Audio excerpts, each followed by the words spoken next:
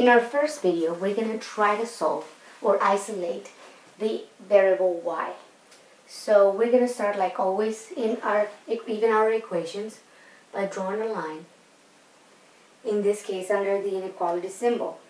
So remember, we want to isolate the variable y.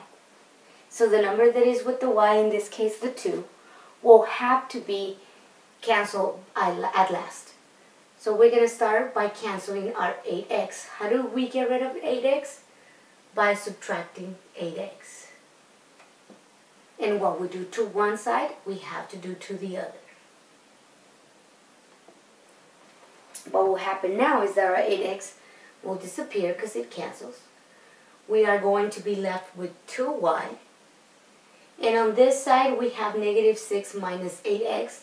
Remember, they're not like terms, so we cannot combine them.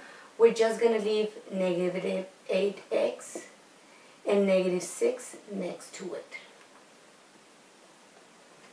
At this point, since we have an inequality, we need to check, have we done anything that will flip the inequality symbol, which is multiply or divide by a negative. In this case, we have not, so it remains in the same direction. Now, we need to cancel our number 2.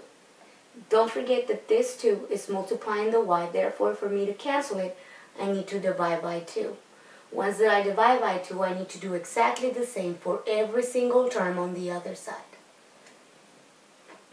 So now the 2's cancel. We have our y alone. On the other side, I have negative 8 divided by 2.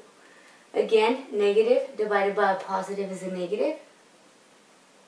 8 divided by 2 is a 4. And x, we just drop. Now we're going to do exactly the same for negative 6. We have negative 6 divided by 2. Negative divided by a positive equals a negative. 6 divided by 2 is 3. And again, before we write our inequality symbol, we need to check, have we done anything that will flip the inequality? We divided, but in this case it was a positive. So no, we have not. It stays in this direction. So this is our linear inequality.